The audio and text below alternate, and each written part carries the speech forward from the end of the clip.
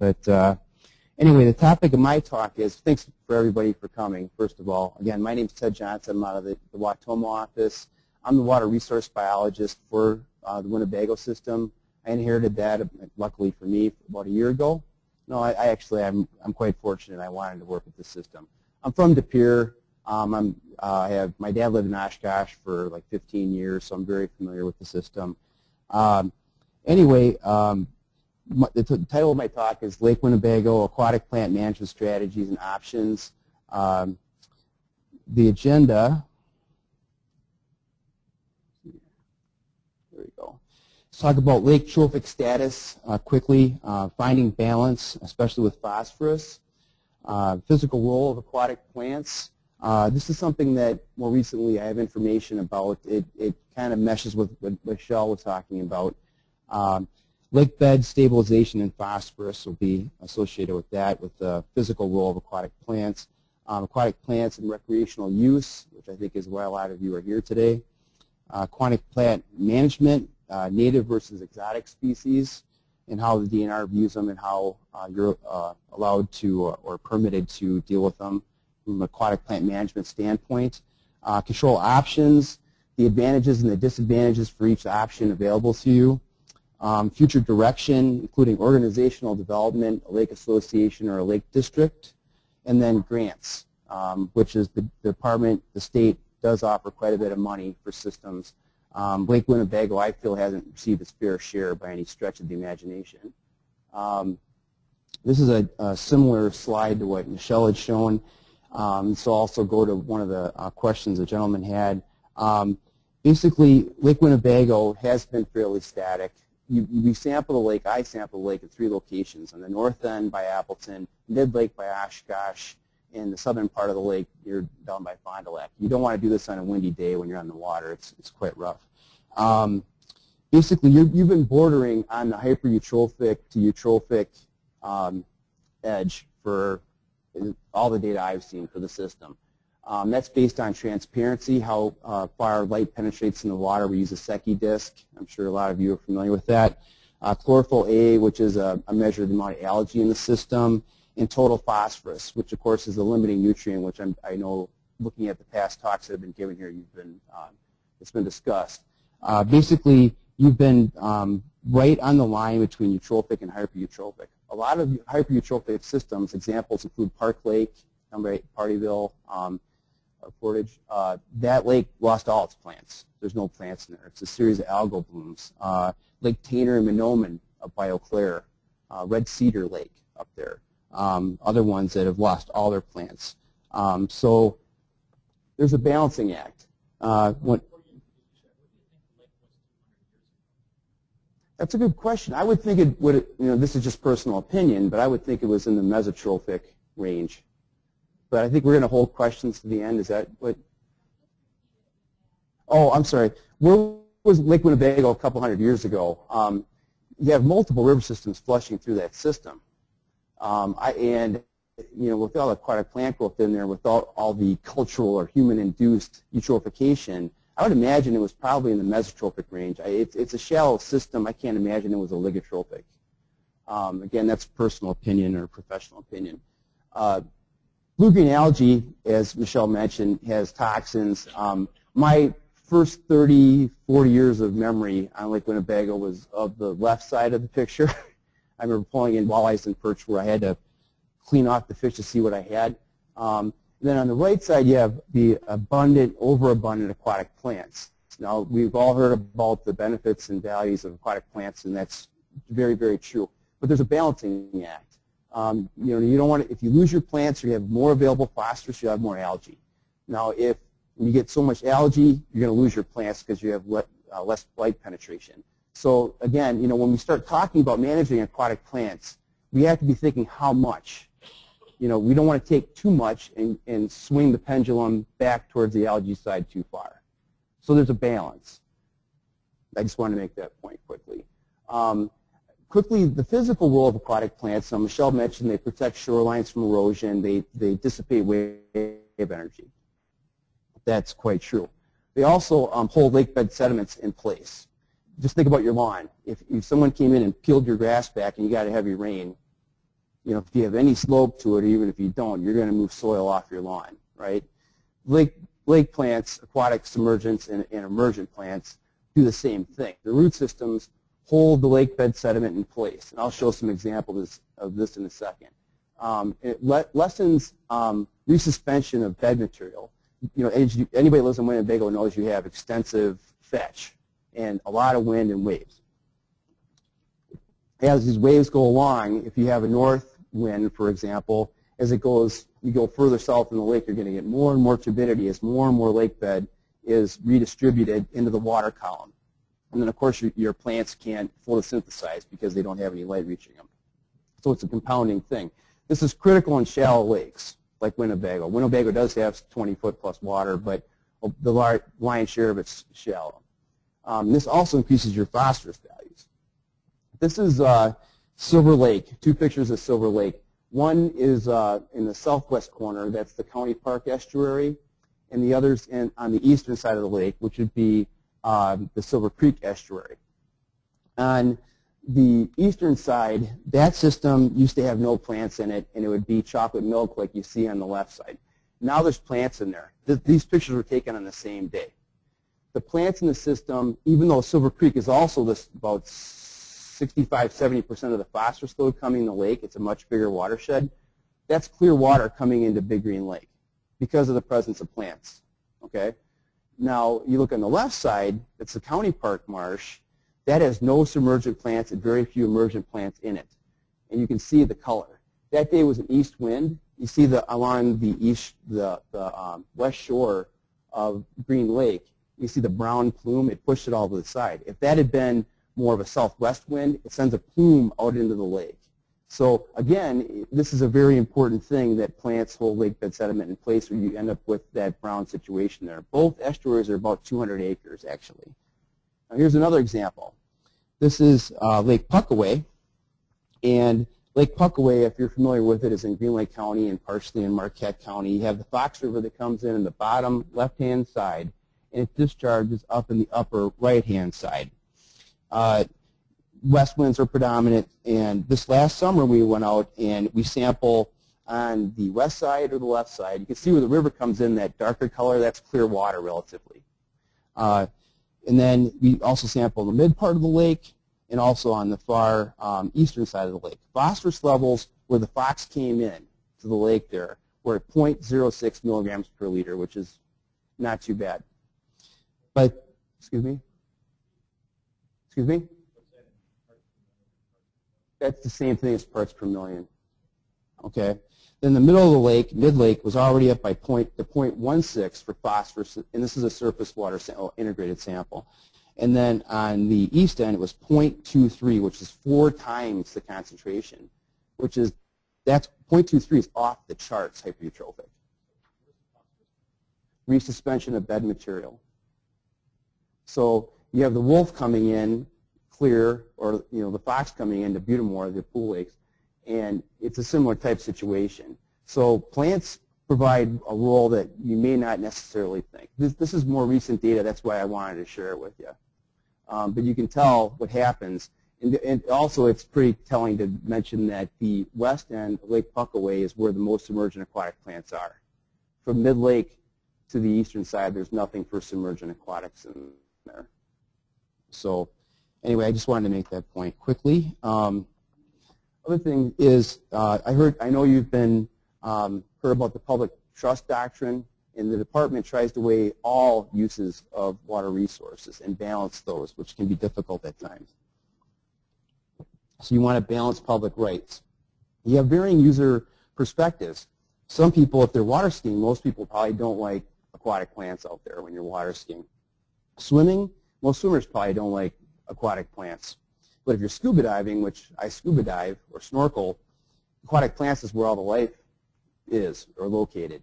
So I actually will swim along the, the weed beds more often than not because I see a lot more interesting things. Fishing, uh, you think there's one that would probably most likely like plants. Well, guys that like to troll out in the middle, including myself, you get a lot of weeds on your lures.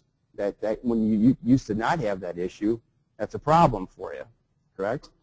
Um, hunting, you know, what's their perspective on aquatic plants? Most likely they like them.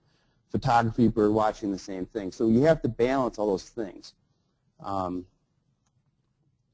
then also uh, native versus exotic plant control. Um, you know, Michelle did a good job of explaining Eurasian water milfoil and curly leaf pondweed. Well, the department's position on that is active control. You know, we support it. Um, the goal being eradication, which is unrealistic, but we try to, um, typically in the small lakes especially, we try to get the levels down to what we call a maintenance mode where you have like less than 5 acres, less than 10 acres, and you try to keep it there. You may have started off at 20, 30 plus acres, but you get it down to a small population. The natives come back. You try to keep it there. On a system like Winnebago, it's going to be a major, major challenge because how large the system is and the wind and wave energy. Um, the common thing I hear from biologists that have worked with the system a lot longer than I have is that one year you'll have Eurasian water milfoil thick in a particular area in the lake, and the next year it's all gone. You know, so that creates a unique set of issues from a management standpoint, from a planning standpoint. Um, typically for um, exotic plants like milfoil and curly leaf pondweed, uh, spring chemical treatments is what the department has found through research to be the most effective. Um, if for curly leaf pondweed, you want to be really early, well before 60 degrees Fahrenheit, the water reaches that temperature. Eurasian water milfoil, a little bit later, but still before 60 degrees or 62 degrees. Um, we also support harvesting to an extent. Um, there has been some uh, research and utility found for harvesting, especially uh, curly leaf pondweed before they form those turions that Michelle mentioned. Um, now for native plants,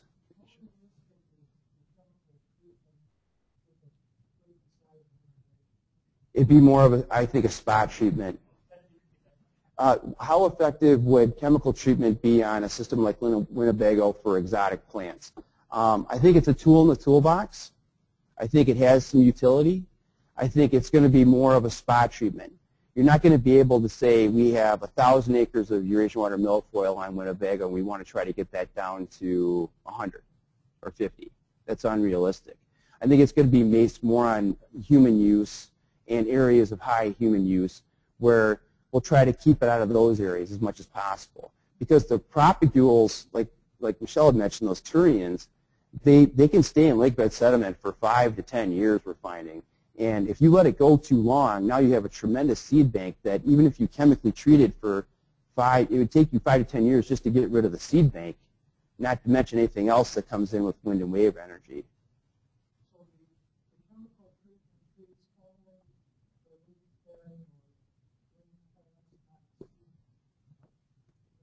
Yes.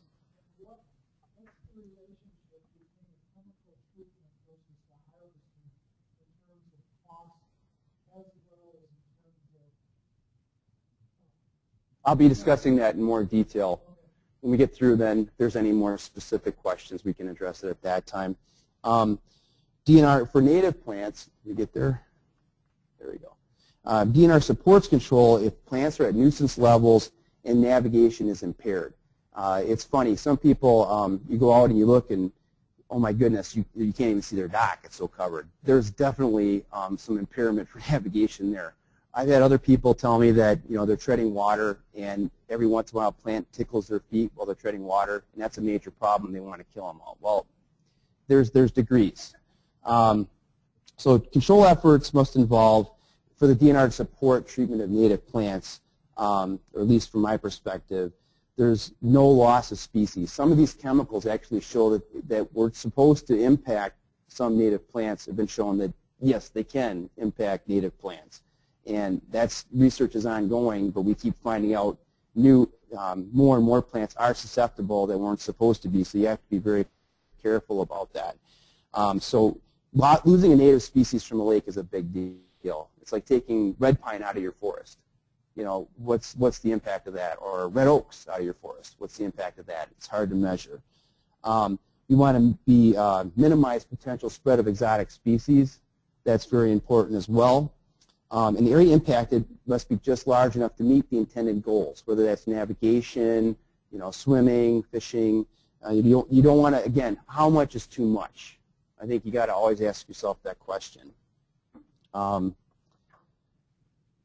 the DNR uh, Aquatic Plant Management and uh, Protection Program, protection is an aspect of this. Um, typically, the three main methods that the DNR supports, there's some other ones that are out there, as I would call it, would be manual removal, which is physical removal. I'll get into that in more detail. Chemical control, which is governed by administrative code or um, NR 107. You need an NR 107 permit to do chemical control. Um, mechanical harvesting, which is NR 109, is administrative code. Um, now for manual removal, um, a waterfront or a riparian landowner may cut, rake, hand pull out aquatic plants for a 30-foot area without a permit. That's a width. I'll show you a picture in a second um, illustrating that. Typically around your docks and piers. Um, there's cases where we've allowed more if it's if one dock is serving multiple riparians and you have multiple boats. And we try to be reasonable. Um, you cannot use without a permit external or auxiliary power. You can't go down there with the rototiller when the water's low. You can't go out there, you know, with your chainsaw or whatever you want to use. you just can't do it. Uh, must be a handheld device, like a weed whacker. You know, I've you know, seen people use that. Shears. Um, they actually sell specialized equipment that does this. Um, and the vegetation must be removed from the water body. Um, this is a, a little bit of a fuzzy slide, but it gets my point across, is 30 feet is width, and you can go out pretty much as far as you need to. Okay, some lakes, you know, you might have a foot of water depth going out for 60 feet, and you have cattails going that whole distance. It's reasonable to go out to that that 60 foot terminus. Um, that's a riparian use zone. Um, advantages of manual removal: it's cost effective.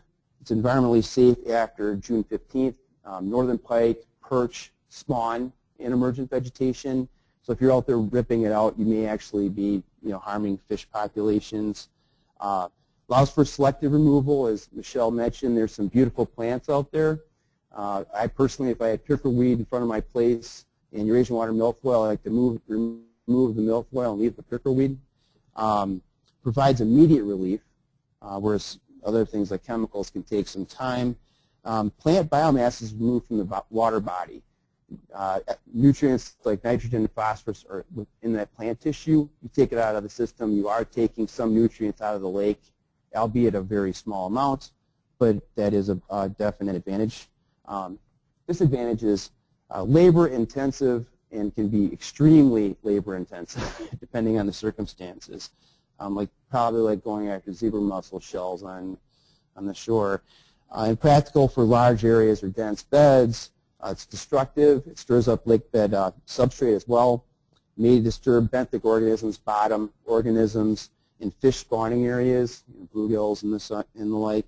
And then you, you, there is a risk of, whenever, anytime you're moving, um, especially native plants, there's a risk of in, introducing invasives because you've created a niche. The invasive species are pioneers. They like disturbance. They, they're the first ones to get there, the first ones to the party, so to speak. Uh, now, we don't need to go over all these in depth, but this, there's a list of, and it's much more lengthy than this, of, of, what we're supposed to consider when we're um, issuing a permit for uh, chemical control of aquatic plants. Um, you know, the first, the chemical has to be registered for use in the state of Wisconsin. Um, it can't be a hazard to humans, animals, or non-target plant species. It can't injure uh, fish uh, eggs, fish larvae, or organisms for fish which is good, of course. Chemical not used in locations known to um, be habitat for known endangered or threatened species. Uh, will not be used in an official sensitive area. That a sensitive area that's official was actually designated by the DNR. Um, chemical applicators licensed to apply the herbicides in water. That's a, a special license for applying herbicides in water. Uh, basically for chemical treatments, the cost for the permit is there's a $20 processing fee, $25 uh, per acre after that. It caps out at 50 acres, so the maximum fee, even if you want to treat the entire Lake Winnebago system, would be 1270 just for permitting. Now, applicator and chemical costs are another matter. $400 to $1,000 per acre, and that's probably, you know, could go up. Um, but there are state grants that cover a large portion of this. So that's something else that we'll talk about a little bit later on. Um, chemical uh, treatment also, there's two types of herbicides. There's contact herbicide which, which kills the, any part of the plant it, it comes in contact with. But it's not systemic, which is the next one, which actually go down and, and get the root system. It's like using Roundup in your yard, you know, where you, it kills the whole plant as they advertise for dandelions and, and the like. Contact kills what it comes in contact with. Systemic gets into the, the um, vascular tissues of the plant and gets and moves down through the whole system and gets the root system, causing more complete mortality. Um, chemical treatment advantages of this type of uh, aquatic plant management is selectivity to an extent um, if done correctly. If you treat early in the year, and the reason to do that is a lot of the native plants haven't even emerged yet when curly pondweed is active, for example, or Eurasian water milfoil. You want to treat while those plants are dormant. So you're targeting specifically, you know, the exotic species. That's very important. If the water temperatures get too warm, like this year was, is a really bizarre year with the hot weather we had. The water temps jumped up and the emergence started come, the natives started coming up faster than normal. Um, another advantage is it can be applied to restrictive areas like docks and boat lifts where if you were using a harvester, you'd never be able to get into these narrow little spaces and it's effective for spot treatments where you, if you were in a particular bay and you have a patch of milfoil over here, but there's natives all around it, you wanted to get that one spot, that can be effective. Um, disadvantages, it's extremely expensive. Uh, many people are strongly anti-chemical, and trust me, they call me. Um, some herbicides are non-selective. Uh, there's new research that shows, as I was mentioning earlier, that um, we never thought certain chemicals would ever impact natives, and we found that they have, actually. Um, there's lake use restrictions for some of these chemicals, like you can't swim for a week.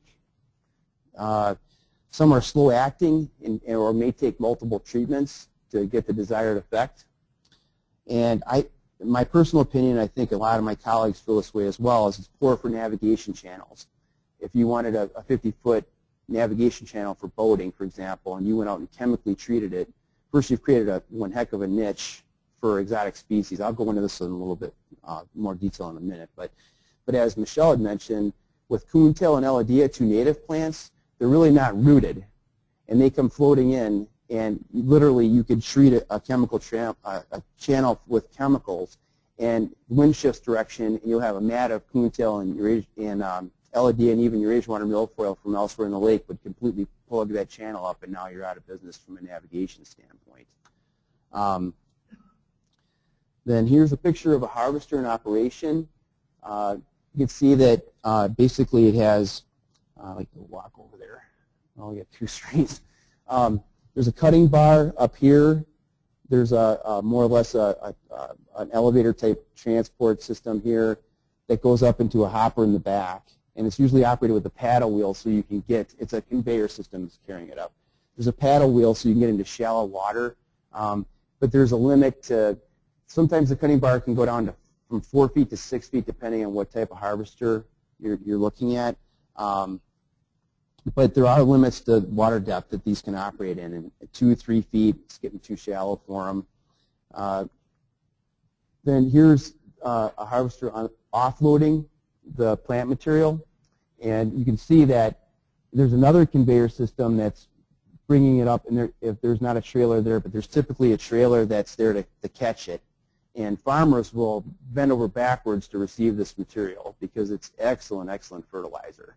Um, so there's definitely a use for it. Um, some criteria used by, by the DNR to evaluate permit applications Will harvesting remedy water use impairment? Uh, will endangered and threatened species be impacted? Uh, will negative long-term consequences occur to the native plant community?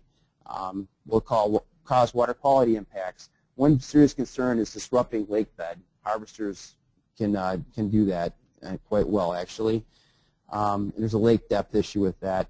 There's some large systems that use harvesting. This is Buffalo Lake. It's about 2,100 acres in Marquette County right by Montello.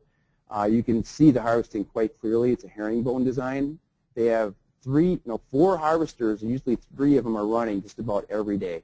They spend about $75,000 per year on harvesting operations. Um, they, with that said, the entire lake is littoral. The Fox River flows through it, and there's so much flow in there, and, the, and it's almost all Eurasian water milfoil and curly leaf pondweed to boot. Uh, it's too expensive for them to treat a system this large, and so that's their only option. But typically, three to four harvesters are running every day. Um, and so when you're applying for a, a 109 permit, um, accurate mapping is a must. This actually looks exactly like their permit application where they drew in the lake. And exactly where they actually use GPS to, to mark their locations of where they're going to harvest. Um, maximum channel widths are typically 60 feet or less.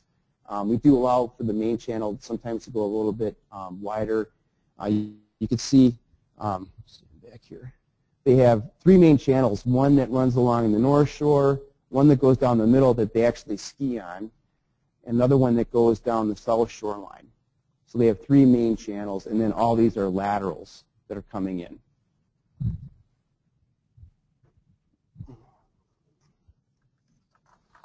Okay, the cost for a permit, for harvesting permit through Chapter 109, or NR 109 rather, is $30 per acre. It caps out at 10 acres. So if you want to harvest 50, 60, 100 acres, it's only going to cost you $300. That's the max fee for permitting. However, on the equipment side, one of those harvesters costs forty-five to $100,000, and I've even seen higher than $100,000 before. Um, their short conveyors are about $20,000, and trailers cost from 70 to 20000 There are grants available to help this, though, offset this cost. Uh, the advantages, Immediate results, uh, plants and associated nutrients are again removed from the lake, so you're exporting phosphorus out of the system. It's selective. If you know you have a particular part of the lake that has real sensitive habitat, important habitat for any number of reasons, you can avoid those areas. Uh, channels, again, Michelle had mentioned this too, uh, fishery studies have shown that these channels cut through the weeds actually um, help remove some of the panfish out of the system. You can get rid of that stunted bluegill panfish phenomenon that we see so often. Um, also see fatter and happier northern pike and bass. Um, regular harvesting maintains good navigation.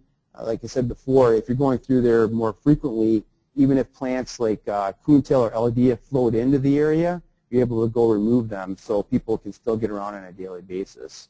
So that's definitely a positive disadvantages, initial and, and maintenance costs are very high. Um, when these break down, it can be quite expensive. Um, repeated harvesting is required. Again, you know, with Buffalo Lake, they're going out there every day. Um, uh, it's like mowing the grass. That's a good analogy. Uh, small fish and insects and frogs can be killed. I've personally been on these harvesters where bass and I've seen turtles and everything else come up the conveyor, and so you're you're diligently trying to flip them back in the water but you can't get them all. Um, uh, they're hard to, well, you may spread exotic species, as Michelle mentioned. Uh, Eurasian water milfoil naturally fragments on its own, but it's a real uh, fragile stem, and these things will shred them up. And if you don't pick up every piece with the harvester, which you're supposed to do by permit, but is impractical, uh, you're spreading it around potentially. Um, but you're mowing the grass, so the native plants, you're not completely removing them you're just cutting the top off. So unlike chemicals, you didn't open up the entire lake bed bottom. You're just shaving off the top. Um, they're hard to maneuver around docks and cannot, cannot harvest in shallow water without disrupting lake bed, which by permit you cannot do. Um, chemical versus mechanical. Uh, this is my personal perspective on it. Uh, some of my colleagues I know agree with me. I can't speak for all of them. Chemicals are best for aquatic invasive species control, in my opinion. Uh, mechanical is best for navigation issues. You know, we've been over this a couple times. Um, you've heard most of my reasons. Again, you can maintain it, and it, it it's functional. Um, chemicals, I think, though, can be used in conjunction uh, with mechanical if for navigation type situations. Um, a good example is Little Green Lake. They have a tremendous amount of shallow water near shore, and they have harvesters, but they can't get into the docks. So what they end up doing is because of their lake district, they'll apply once per year, and anybody that's interested can have a, a chemical treatment in and around their dock. Their lake is borderline hypereutrophic, very similar to Winnebago in that sense, maybe even a little more towards the hypereutrophic side. And uh, so they'll send in as one in one bunch like 50, 60 different permit applications for the treat around docks. So that's a, an effective way to, for us to handle a lot of permits as well. Um, that leads me to my next, my next slide, organizational development. Uh, last year, I obtained, through working with Fond du Lac County, a small-scale planning grant, to, and I think that, uh, I'm not sure if Paul's here today or not, um, but they're working on organizing, developing either a district or an association, you know, for different portions of the lake, whether it be South Shore. In this particular case, it would be for the South Shore and the Fond du Lac area. Um, so I, I think that's going well from what I've been told. Um, it's important that you organize from a permitting standpoint because the department can't handle getting a thousand permit applications in at a time. It just it's just too much. Uh, so it's also effective for lake planning and, and management. Um, it's a it's a forum to allow people to voice their opinions and and discuss issues because everybody's got a different opinion or a lot of people have different opinions about a given issue, and everybody needs to have a voice to feel like they have ownership in whatever the end product is, whatever is decided for from a planning standpoint for goals, for example. Um, it's also a forum to voice diverse opinions um, and build consensus, consensus, as I mentioned, um, also to communicate with us, with the department. If you have a group and you, you work together to form, formulate, uh, you know, sort of a united voice, we want to do this. It's stronger than having, you know, a thousand people calling in with different opinions, I think. Um, it also allows, if you, you're able to form an association, differences and conflicts to be resolved internally and to form, to get everybody on the same page, I guess is the best way to put it. Uh, again, I had mentioned before minimizing the number of permit applications. Um, you have a blanket permit for a whole area. Um, and eligibility for state grants. The county can sponsor it. Um, as an association, that wouldn't give you the ability, like a district where you're a governing body, to sponsor your own grants. Um, then my goal here wasn't to really discuss lake management planning, but yeah, any kind of lake management plan is going to need to be dynamic because of we talked about the ever-changing landscape of Lake Winnebago. And so goals, um, it, they need to be tangible and realistic uh, basically that you know you can measure them and that you're putting something forward that within a, a, shorter period of time, long or short range or long range goals, you can see and, and have a definitive answer of whether or not you achieve that goal.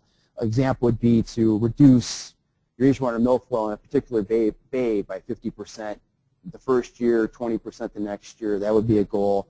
Um, purchase a harvester could be a potential goal. Uh, obtain an NR 109 permit. Uh, so, um, and also once you have those goals and objectives together, then you monitor for success, success or failure and set up new goals and update that often. So for, now to get into lake grants, oops, okay, there's uh, basically there's different types of grants. There's uh, planning grants, small scale, large scale, lake protection grants and aquatic invasive species grants. Um, also, you have to be a, a, you need a qualified sponsor, like counties, cities, villages, um, Indian tribes, lake districts. There's detailed information about this on that link there. Um, also, you can search lake grants in the DNR homepage. That works quite well. Um, I want to talk a little bit more about the individual grants quickly. I don't want to spend too much time on this. Uh, small-scale lake planning grants um, education, uh, du Lac, the city of Fond du Lac received one of these last year. Um, to obtain and distribute information, develop management goals. In this case, they're trying to organize and, and, start to get ready to form a lake association. The state uh, share that is 67% of a project up to $3,000. There's two cycles you can apply for, February and August. The same is true for large-scale grants where it's $25,000 cap on that, again 67% cost share. Your actual cost can go down if there's match. If you, you're providing uh, or time, labor, and things, that'll go down. Um, ultimately, I think it would be a great idea to go for a large-scale planning grant to try to develop a lake management plan so that you can have a game plan in mind for dealing with overabundant aquatic plants. Uh, 2010, I, I saw it the lake, and especially got my Fond du Lac in 2010. Then what happened in 11 though wasn't nearly as bad as 10. So you, that's where you have to have that dynamic plan in place for contingencies. There's a protection grant um, that's usually more so for protecting a lake, um, for water quality, um, implement recommendations of the lake management plan. If you have specific goals you want to accomplish that will help the lake, and you identify those in your lake management plan, you can go for a protection grant that'll cover that, and that's up to $200,000, depending on what type. And 75% of the cost is the state for that. It's competitive. These grants are all competitive. You compete against every other lake in the state that applies for these grants. Um, then I argue for you, and I do my best. so May 1st deadline on that. Um, there's a lot of interest in Lake Winnebago, though, and Lake Winnebago has grants coming, in my opinion. Um, AIS control, uh, the purpose is to prevent and control the spread of aquatic invasive plant species. Um, maximum amount um, for education, prevention, and planning is $150,000. For established population control, which you guys have, is $200,000. A 75% cost share. Spring and fall grant cycles of February 1st and August 1st. Then there's a recreational boating facility grant. That's one that would help you get at harvesting equipment. And that pays up to 50% of the cost. Uh, there's no application deadline. Eligibility, you must have a lake management plan or an approved harvesting plan. Um, and uh, the link for that is given. I think that would be a good idea to pursue that potentially. And then contacts for the grant program for large and small scale lake planning and protection grants, that would be me. That's my phone number uh, up there. Also, I have cards in the front of the room. Um, and then for AIS grants, it's Danielle Block, and her contact information is up there as well. Um, I guess at that at this point, I'd like to take questions. Um, I can leave that up there. I have another slide that just it's kind of a nice, pretty one like Michelle had, but uh, I want people to be able to copy the numbers and information down. But yes, sir.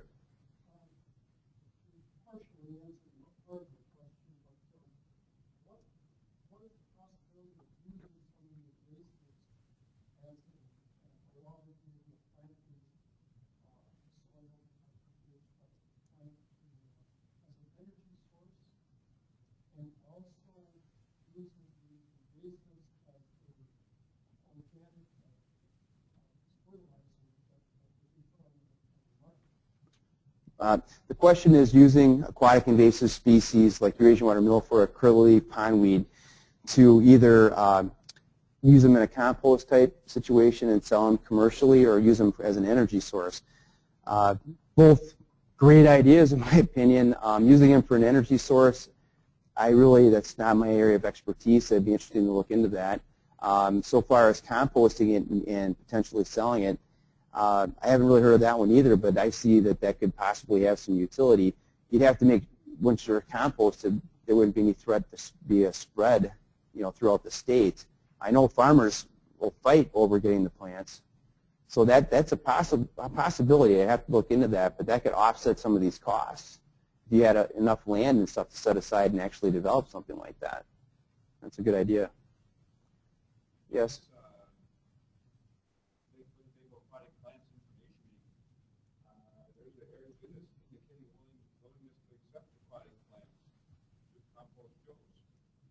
Okay. Excellent. Yes? Where's the money coming from for these grants? You know it's going to increase. Oh, this, the state money part of it? That we're allocated so much money per year, um, and it changes. It's somewhat dynamic, and that's it. You know, so that there's not enough money to go around typically for these grants. So it's based on there's a, a ranking that goes on that we actually, the size of the lake, the amount of recreational use, there's a, a lot of factors that go into it. So every time an application comes in, it gets a score associated with it, and it competes against lakes even in Vilas County, Racine County, all, all over the whole state, and only a portion of those receive the monies. So we have a ceiling of amount. I, you know, Rob, I don't know if you know the, the top of your head. It's, it could be a million, a million five per year. It's not a huge, huge amount. And um, some years it's been decreased as well. Million five seems sounds about right for control. Yes, sir.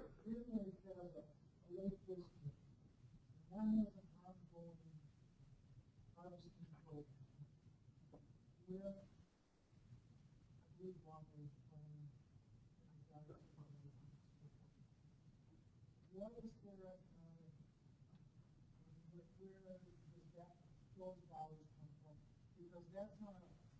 I mean, that's, it's ongoing. It isn't like a year-to-year. The question, yeah, the question is concerning Green Lake, Green Lake County. Uh, where is their operating capital coming from? Because they do have a harvesting program, and they're they're not doing ongoing management. Uh, they're developing a lake management plan right now that I'm involved with, but they have a sanitary district. Uh, they don't really, uh, they don't have a lake district per se. They have a sanitary district, and that's where a lot of the money comes from. Any other questions? Yes, sir. wondering The same thing about Buffalo Lake, where does that money come from? That goes on all year, and if so, they certainly should have been looking at selling that to the farmers rather than just giving it away. Yeah, I don't know about the legality of selling it. Um, I don't think there's a problem with that. Um, but yeah, that would be a good idea for them to look into. But they have a lake district, and they not a sanitary district, and it's a taxing body, and so they collect revenue from each person that you know is within their district boundaries. So uh, that's the difference between an association and a district. An association is voluntary. You know, if you don't want to contribute this year, you don't have to A district, you're going to be taxed. So that's something to consider when you're, you know, trying to form an association or a district. The people here have, are you supportive of forming an association, of trying to organize? Okay. Any other questions? Well, thanks again. Appreciate you coming.